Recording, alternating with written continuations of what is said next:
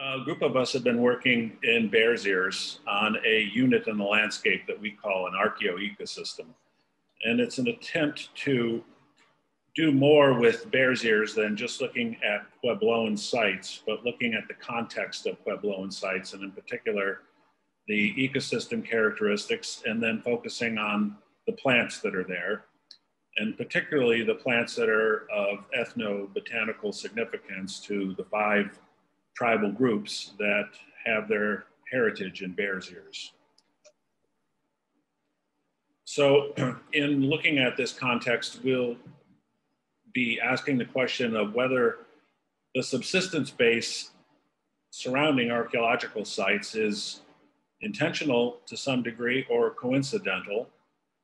And we are looking at more than just uh, beans, corns, and squash. We're looking at the entire array of native plants that are associated with these sites and look at patterns of plant diversity across the landscape uh, with something we call ethnographic species richness uh, or ESR and the occurrence of significant plant population occurrences. And they may be rare plants in the traditional sense or just unusual plants.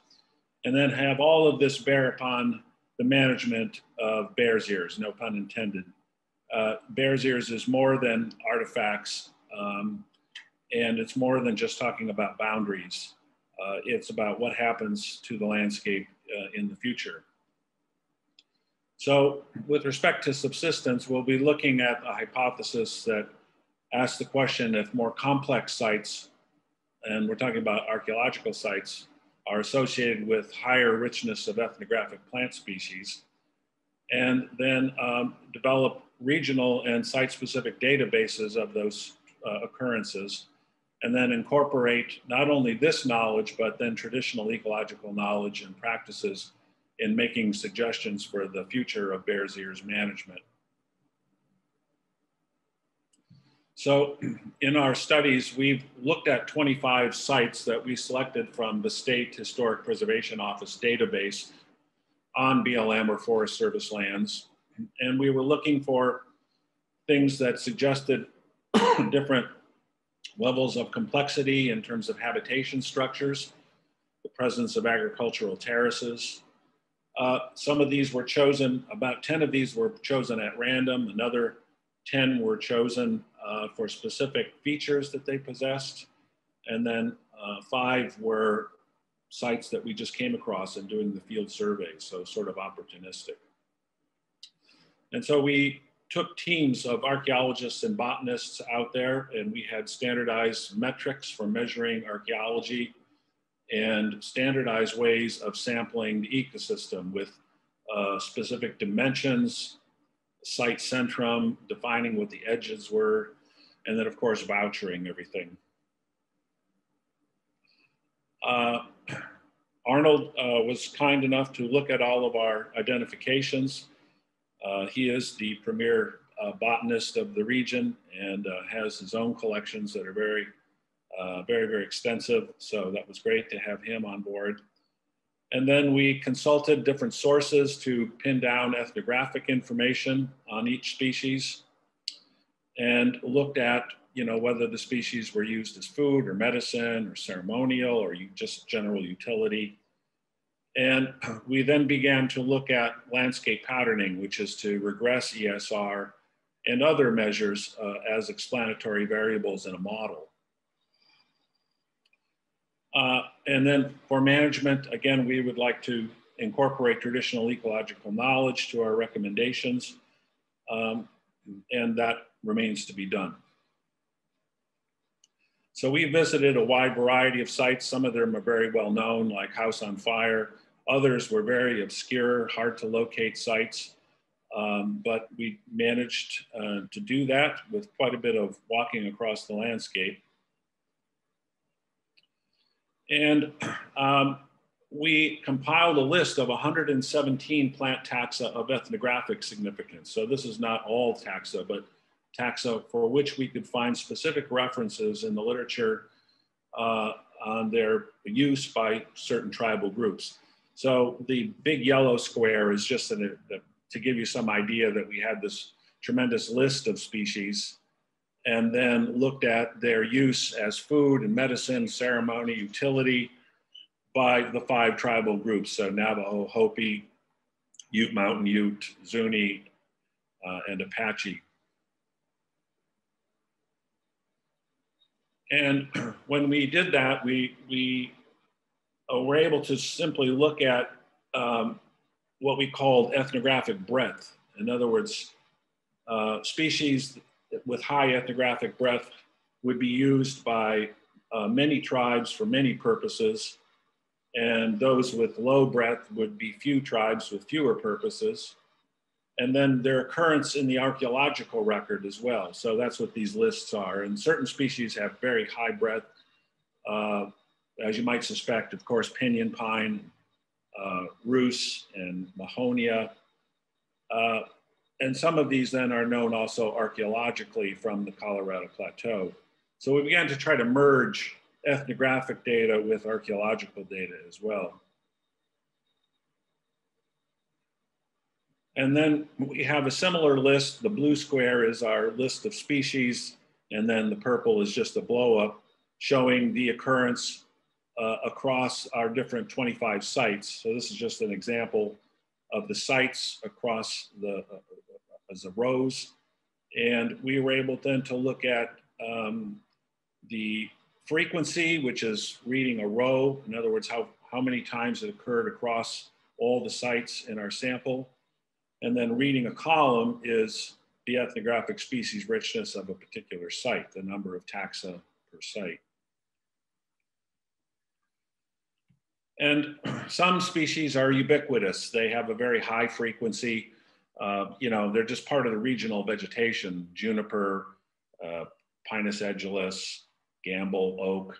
Uh, and those species aren't particularly discriminatory. I mean, they're, they're just basically everywhere.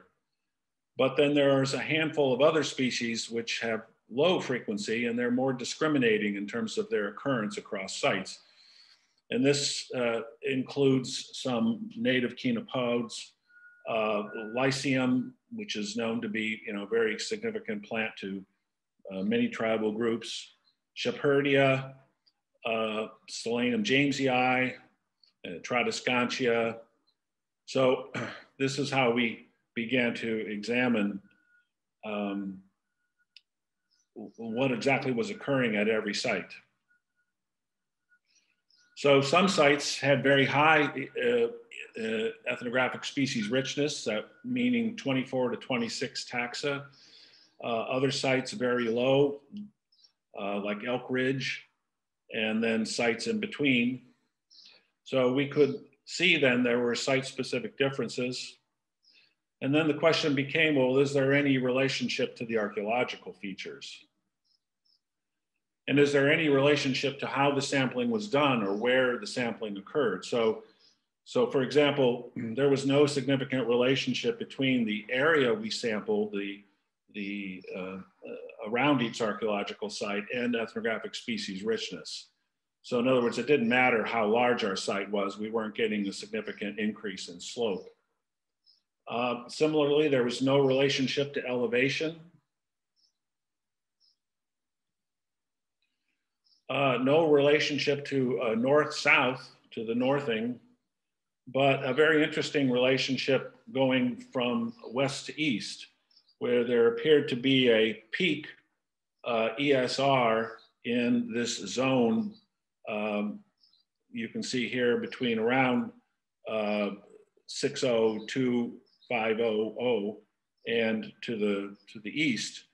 So a zone of ethnographic species richness would be important to know uh, in terms of managing the landscape,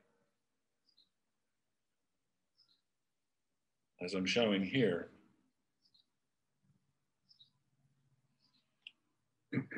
um, but we also used the SHPO database to look at then uh, 265 sites throughout Bears Ears and use this multivariate generalized additive model to predict ESR at sites that we did not visit.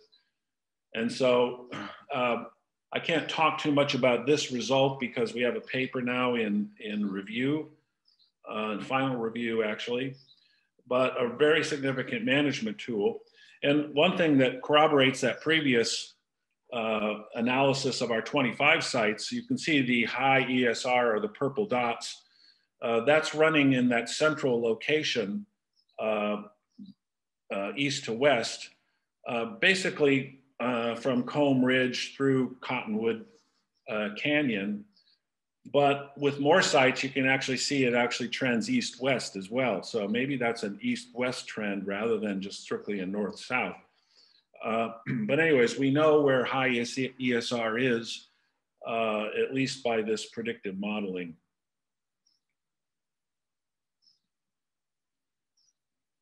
And when you look at individual species, particularly those low frequency species, you find some very interesting relationships with archaeological sites. And um, this is one example um, of Solanum jamesii, which we've been working on for quite a while. Uh, there is a cluster of archaeological sites that all have an association with a small population of Solanum jamesii.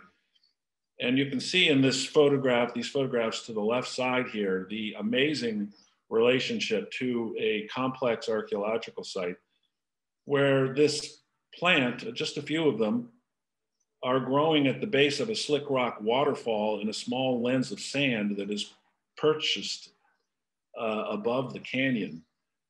Um, that's not a natural distribution by any stretch of the imagination. And we find those rather unnatural distributions in this, what we're calling this potato cultural assemblage, a group of sites that all had strange potato populations. And um, they're often associated with grinding stones, which you see up to the right. And then the, the photo to the left, I'm sorry, the photo to the right down below is actually within a pit house uh, structure. So uh, this is part of the mystery of Solanum jamesii that we're unraveling um, through a, a, variety of analyses and um, uh, there'll be more on that coming out pretty soon.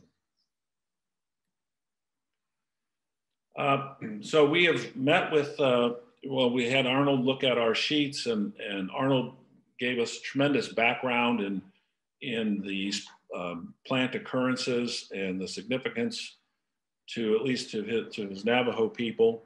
Carlos Baca is a chef, also very, very good on the ground uh, knowing where to find certain populations and very interested in them as food. So we, we have accumulated some of that knowledge as well, or recorded it in our reports, but it's very useful in the management uh, aspect of Bears Ears.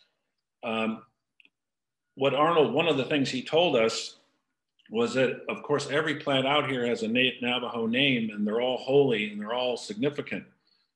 And Carlos uh, felt the same way too, felt that Bears Ears was just full of food.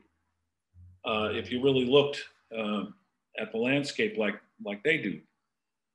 So this poses a problem in that um, we're supposed to be using tribal co-management uh, for the monument. This was President Trump as well as President Obama. And how do we incorporate this, this view if all species in the landscape are sacred and useful? That presents quite a management problem. So we're looking at our list of species that we found and coming to three groups that could be useful in managing archaeoecosystems in Bears Ears. The first group is from traditional ecological knowledge, something that Arnold was telling us about called lifeway medicines. And this is just a handful of species that were especially important uh, to the people of Bears Ears. And they include Solanum jamesii and then Apacara neomexicana. Uh, habitation indicators from our data, Cleome uh, and Lycium, and then, of course, rare or uncommon species in the landscape um, in the more uh, traditional Western sense. So we think that Bears Ears could look at archaeoecosystems from the standpoint of these three categories of plants and prioritize sites that uh, had these plant occurrences. And they would be prioritized for special management actions. so um, this proactive site-specific management would would be, you know, to improve overall habitat quality through, of course, weed removal, maintaining local ecological processes, and minimizing human and livestock disturbance, but then using, using maybe traditional approaches, which could include wild cultivation of high value plant populations. In other words, where uh, indigenous farmers, indigenous uh, uh, plant shaman could actually go in and manipulate plant populations uh, in positive ways that would maintain uh, their uh, occurrences in these high value archaeoecosystems. So I want to acknowledge our uh, field archaeologists and our field botanists, tremendous group, um, GIS people and uh, researchers that helped us pull these data together. And um, thanks to BLM for funding and support.